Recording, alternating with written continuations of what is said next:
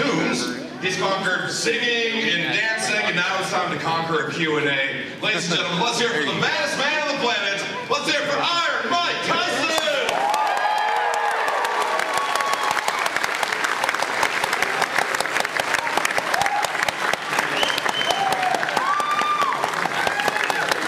Thank you. All these beautiful, beautiful people out here. All right. Welcome to Columbus. Yeah, I like Columbus. So how are you doing? Don't make me go. Really good. How about yourself? I'm doing very well. I gotta, I gotta ask right away. A lot of people excited to meet the champ, Mike Tyson. Who is the champ excited to meet? When you go to a Comic Con, who do you get excited to see? Um, I saw quite a few. I saw Hulk here. You know, I saw um, Eva Marie here. Eva Wrestling. And um, there's quite a few colorful characters here. Absolutely. I think even the celebrities were excited to meet you. You're the Green Power Ranger, Jason David Frank. Yeah, um, my son loves these guys. Okay. I got a bunch of power the helmet. He, he, he acted like a kid wanting to meet you. Wanted to know if, uh, you know, maybe you could spar a little bit. No, I'm not interested in that. For, for his safety, right? I'm just like, Well, congratulations on the Mike Tyson Mysteries being Thank brought back for much. season two. you. Uh, how many of you guys checked out that show? The show's hilarious. Um, I had no idea it was gonna be this successful. I saw these two guys in my house, and I was in the shower when they came in. And when you look at them, they look like plainclothes cops. I'm like, what the hell? Is... And then they explained that they're from the, um, the studio and they wanted to do this, and I didn't think it would be a good idea. And neither did the um, producer. And we just went to the studios, the guys in the studios thought it would be a good idea. I didn't think so. So we went there, we did a few drafts, and it came out pretty good. I said, let's let's do it. And my acceleration to really succeed in it really is went full blast. Well, I, I look forward to, to season two debuting here We've been, kick, soon. we've been kicking butt number one, number two, man. I'm just really excited. Not in a hundred years long as um, heavyweight champ, Iron Mike, whoever the hell they said, baddest man, whoever I was back then. Um, 30 and 40 million dollars. I couldn't get a cartoon to touch me with a two million foot pole. now, now I get the number one cartoon on Adult Swim. That's just really exciting. I'm really proud of myself with that one. As you should be, as you should be. That is incredible. Exactly. So what's next? Boxing, wrestling. Well, I finished doing two movies in um, China. Okay. And um, that's very, one was Donnie Yen, it's Ip Man 3, and the other one was China Salesman with Steven Seagal. Nice, nice. That's awesome. Looking forward to I'm a real bad guy. You? Yeah. No. You're right. That's great. That's great. Uh, well, this young gentleman has been waiting in line for quite some time to ask you a question. Well, you shouldn't have talked so much. You should have went right to it. I know. Sorry.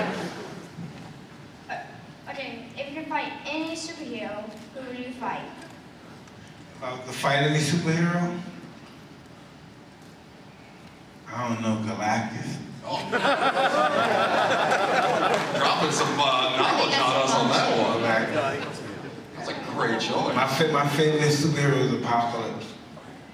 You're blowing my mind over here. That's outstanding. I'll show you one more. Go for it. Do you think, do you think you could fight beat down Floyd Mayweather?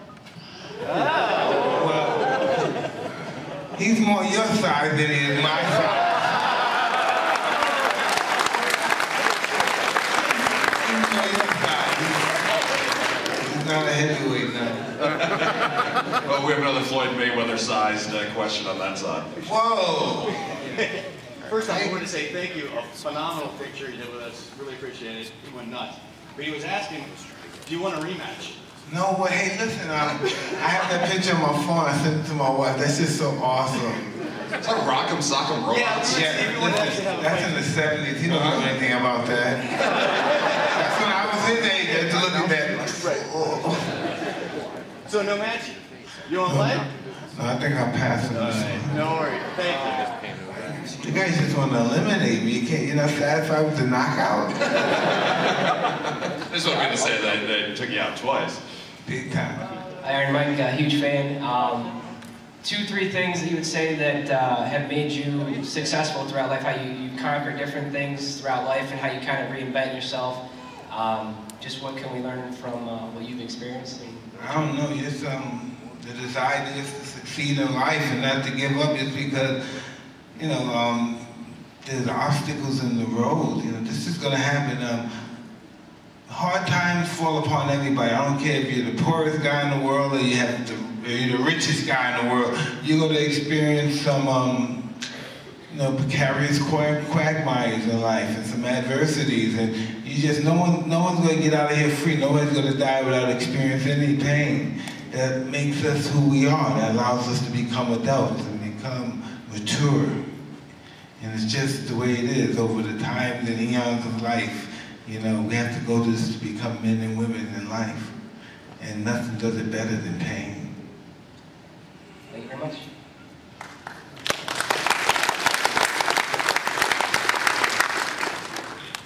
So, uh, Mike, uh, first of all, you're a legendary fighter. Legendary fighter. You rock. I'm in called worse. Well, my question is, you've been cold. My question actually isn't about fighting. I know that uh, I've heard that you actually uh, love uh, pigeons. Yes, I have Do you have a do you have a certain uh, like a favorite type of pigeon, um, like a a, a favorite species? Yes, I do. do you like Yes, this is true. And I've had pigeons You're in the past. absolutely right about what you're saying. Continue. Well, you know, when I was a kid, I actually had uh, a pigeon coop. I actually had pigeons, so that's why I'm kind of interested. What kind of pigeons did you possess? I had all kinds of like mixed up pig- pigeons, man. They were just whatever we had. Like there was like some rollers, some of those with the fantails. Yeah, I had some of those as well. Yeah. But I'm really um, exclusively with rolling pigeons. The pigeons that roll, they roll away, and sometimes they hit the and die.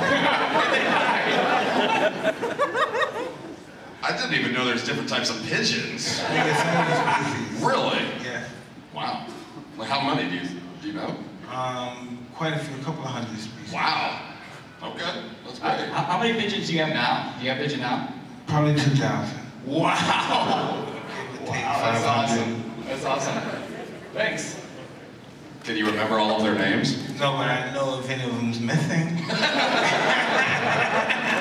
Let that be a warning. You have track of all 2,000? Yeah. That's awesome, man. Awesome. I'm inclined to believe him on this one. No, no, no, listen, if, if I got, you can't imagine this. If I have a thousand birds in the air flying, and I fly my birds. So I let them out and they're flying, I can tell if there's a strain there. Wow. It's just, you know. Did you you know, ever- think about him fly picnics, you just know. Ever You, try just, trouble with you can't explain it, you just know. You know your pigeons, huh? Yeah. I'm not going to argue. Thank you for bringing that up. Okay, first of all, big fan. Congratulations on your long career. Um, Thank you. Absolutely. Mine's not, you know, as deep of a question as, you know, what got you through life or how many pigeons you have. Um, Let us know. I just had a, I don't know, question because, you know, the career you had and kind of, you know, kind of question brings up. Would you punch me? For how much money? I mean, I don't know how much I got right now. Hold on, give me a second. I think there's probably some sort of liability thing there. I mean, I can sign a paper. I'd be happy to do that. Let, let's draft one. Absolutely. I better stop this stuff. Okay? Let, let- let everybody waive responsibility on this side of the stage first, then, then we'll talk about it. All right, thank Does you. anybody live here? Um, I was at the Ohio State Fair. You the Ohio State Fair? Yeah. Yeah, I was here in like '83. Yeah, I like this place. I saw Melissa Manchester perform. I was like 17, 16. I saw before. I saw her recently. I saw her, you know, Ohio State Fair. Oh, really? Hi, Mike. Hi. What do you think about Ronda Rousey? I think she's awesome, right? I think you're awesome too. Thank you. Thank you very much. All right, Mike. Um, how, many, how many times do people ask you to punch them? How often does that happen? Quite often.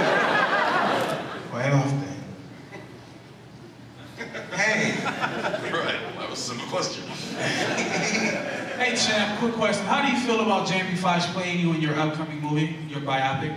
I think that's pretty awesome. I think he's going to do a good job. And um, it's so ironic that we're talking about this because, you know, um, Jamie knows me very well. You know, um, a long time ago, Jamie used to work for me. And a friend of mine, we had this little, what is it? I don't know. Um, cell phone paging business, and my friend convinced me to get involved in the finances. And um, Jamie was there, and he was working. We had no idea he would be who he is now. But he used to imitate me even back then on this little amateur stage stuff. How did you feel about Michael Jai White playing you in the HBO movie in 1995?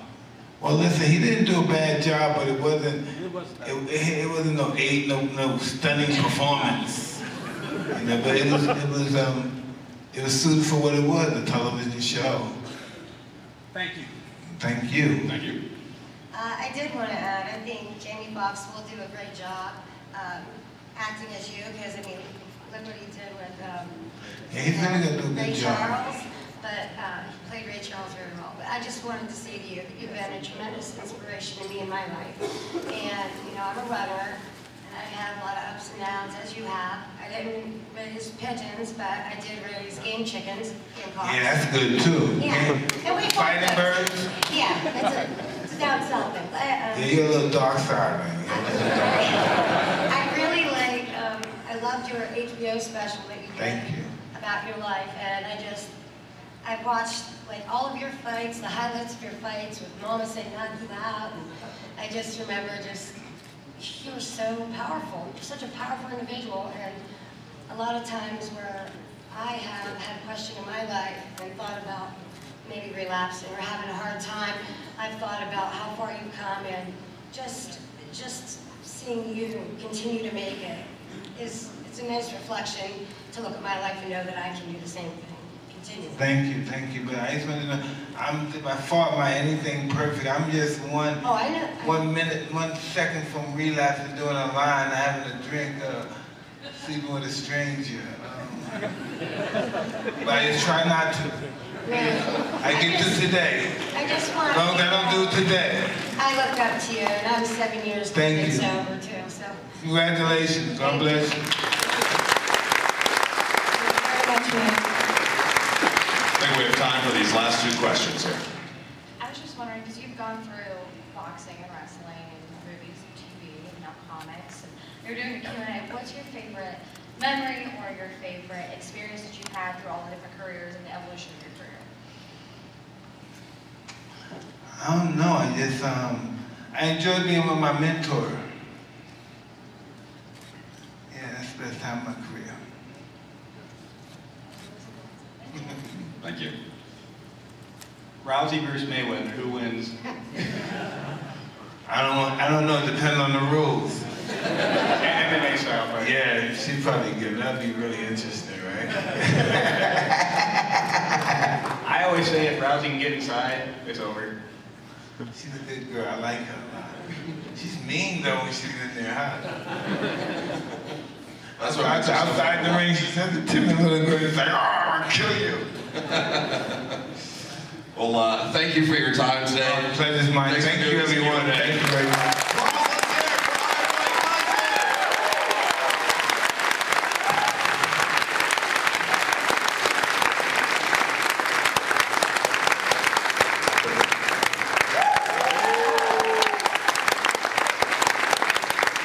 Toxic Pop has a new Facebook page.